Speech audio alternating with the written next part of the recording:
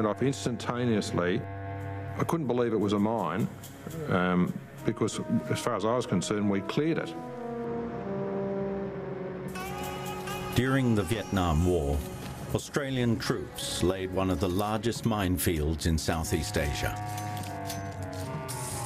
As I turned, of course, no one appeared to be standing. Everyone was either horizontal on the ground or horizontal in the air. They sowed mines in their thousands, then reaped tragedy as hundreds of Australians were killed or wounded by those same mines. The thoughts of Jacko laying on my legs and bleeding to death there really haunted me for a long, long time. This was Australia's most significant military blunder since the Second World War.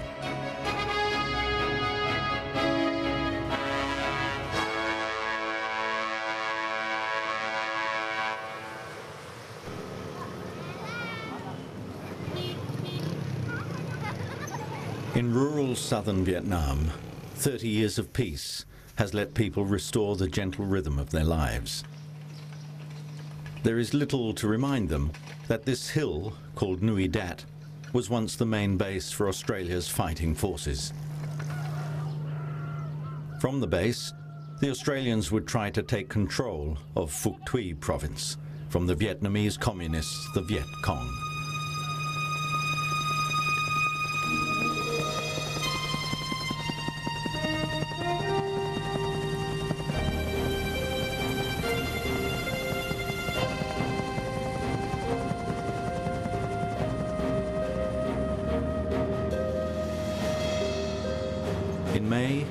1966, the Australians occupied the hill and established the Australian Task Force Base.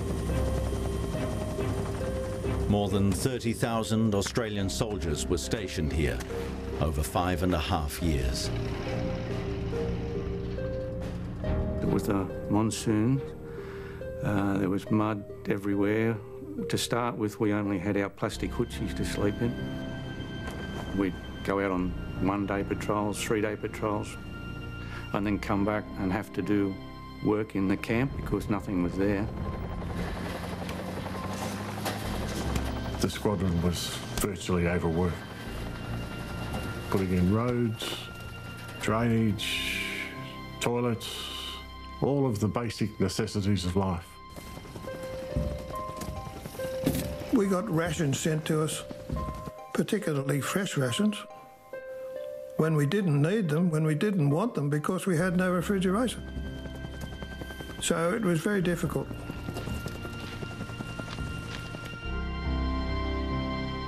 For more than a year, Australia had fought side by side with America in a divided Vietnam trying to stop a communist takeover of the South. But concerns that the US Army was foolhardy and dangerous had driven the Australians to seek an independent role in Phuoc Tuy province.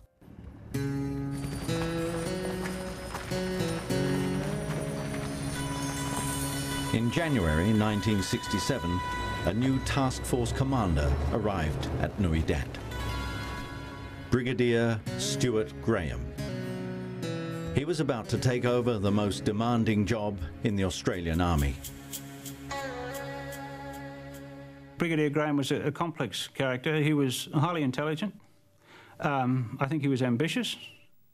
He'd also be extremely tenacious, and when he got his teeth into something, he, he wouldn't sort of let go. Brigadier Graham was a marvellous soldier. He was a thinker.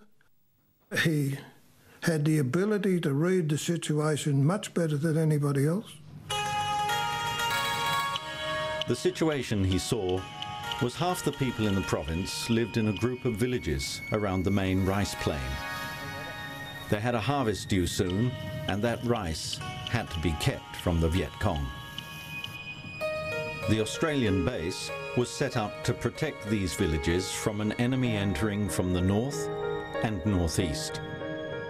Brigadier Graham was also aware the Viet Cong were in the Long Hai Hills and lurked in a large strip the Australians nicknamed the Long Green. And he sees the vital area in the province as the Long Green because that's the area in which he sees the enemy coming across and you can stop them there, you can cut their links with the villagers and then they will wither on the vine, was the expression they were using, because they wouldn't have access to rice and recruits and so on. Soon after his arrival, Graham attended a medal ceremony for the heroes of the Battle of Long Tan. That battle, a chance encounter with the enemy five months before, had just saved the base from being overrun. It was a stark reminder of the vulnerability of a base that was undermanned and under-resourced.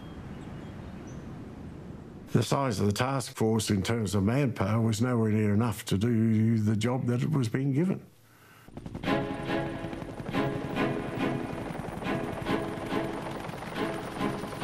So we asked Army Headquarters for another battalion. We asked them for some tanks. Army Headquarters said no.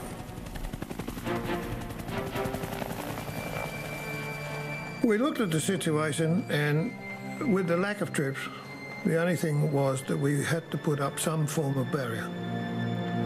What form of barrier?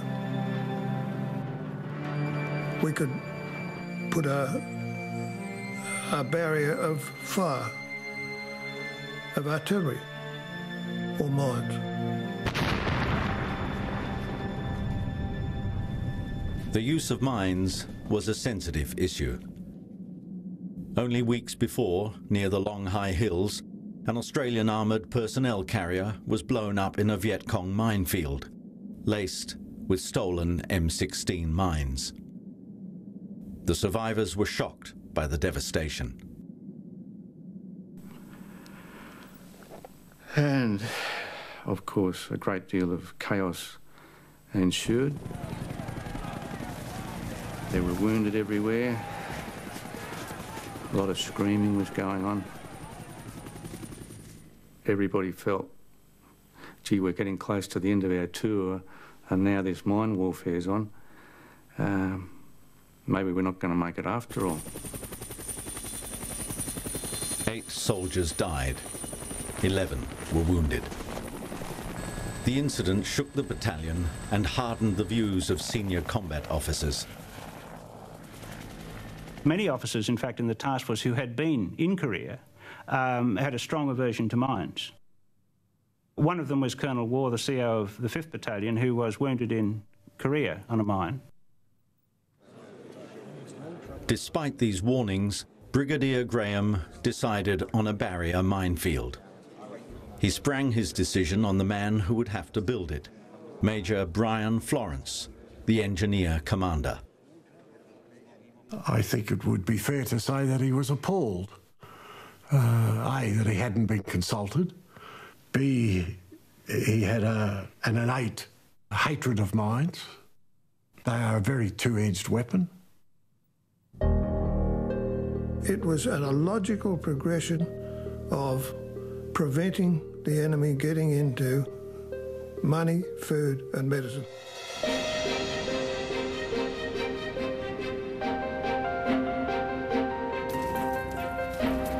Construction of the minefield began with fence building. Graham's plan was two parallel fences, 100 metres apart and 11 kilometres long. Between the fences, a sea of mines would be laid.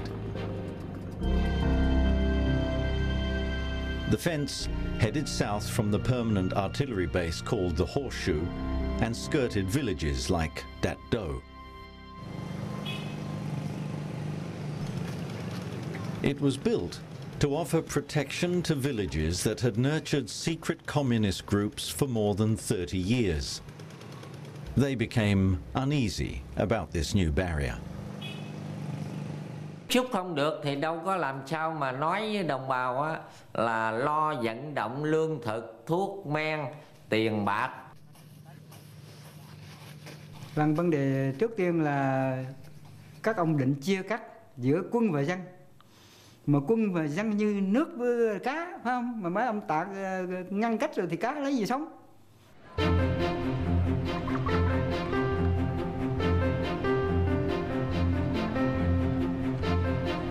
The children came out ostensibly to ask for rations or put their hands out. It wasn't until days later we realised that they'd been watching us.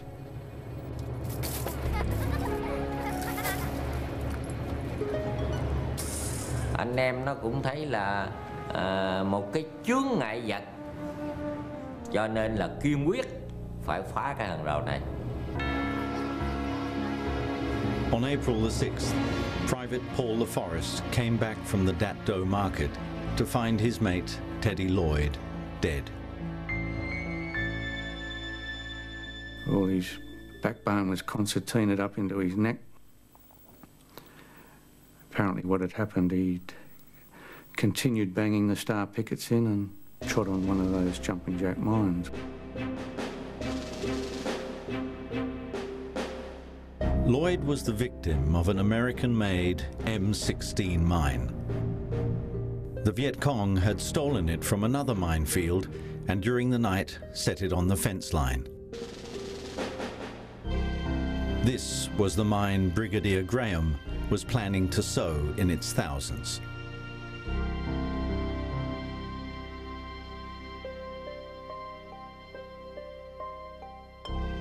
The engineers, or sappers, began mine laying in late April 1967. Nobody had any prior experience. None of the sappers, none of our senior NCOs, none of our officers. Nobody had prior experience laying a minefield. We were still on the job training. Mines were laid with teams widely separated to minimise casualties.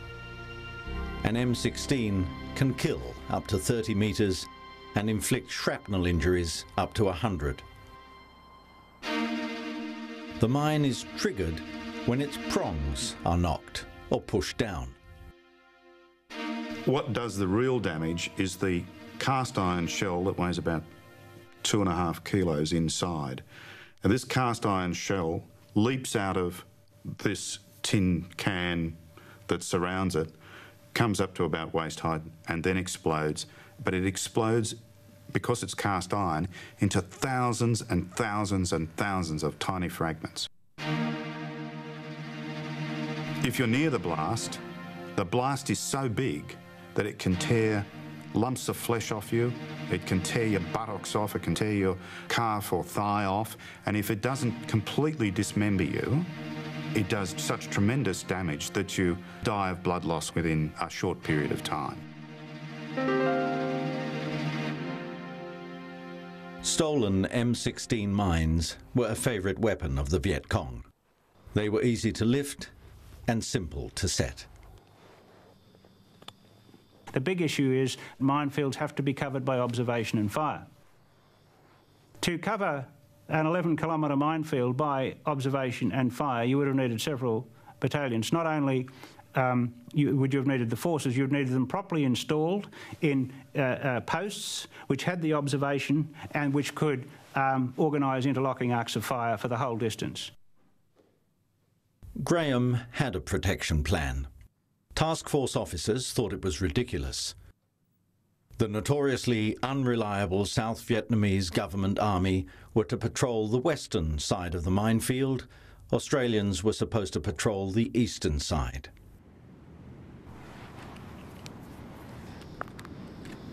As a backup, the plan was to booby trap every M16 mine with an anti-lift grenade. A spring-loaded switch was screwed into the grenade. It was Graham's insurance against the Viet Cong stealing his mines. This was going to be a very dangerous operation. You had to use two people to lay each mine with the anti-lift switch. One person just didn't have enough hands.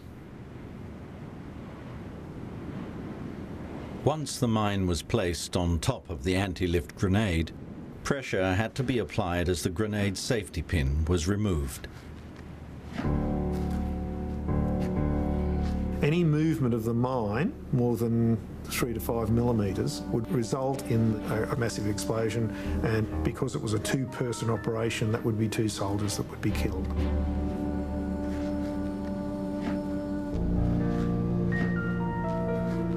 Can still see to this day the perspiration exploding on the forehead of my partner.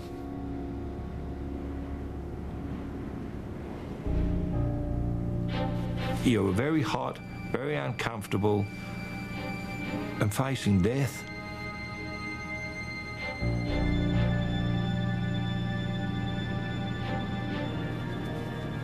While the intention was that we would lay a thousand mines a day, we were nowhere within that kind of capability from the outset. Attempting to reach Graham's target of a thousand mines a day put enormous pressure on the teams. Ashley and I did our set quota. The staff sergeant, he gave me a sir for dragging the chain. On that, I looked across and I saw my partner, Ashley, was squatting down at a mine. I thought, oh my God, he started already.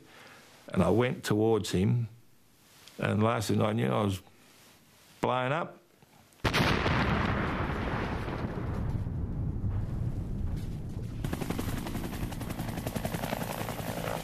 The mine accident killed two soldiers and injured three others.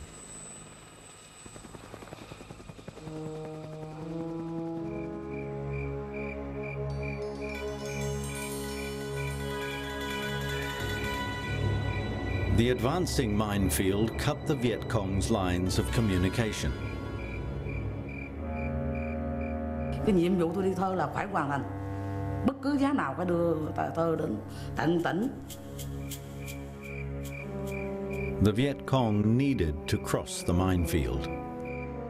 cho mình đầu tiên là cũng khăn khăn lắm đó One of the first to breach it was a young courier.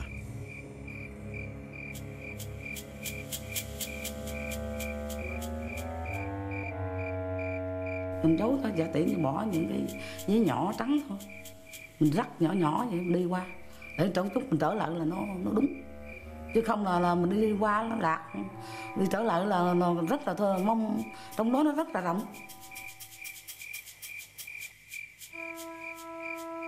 Chung qua cái lỗ này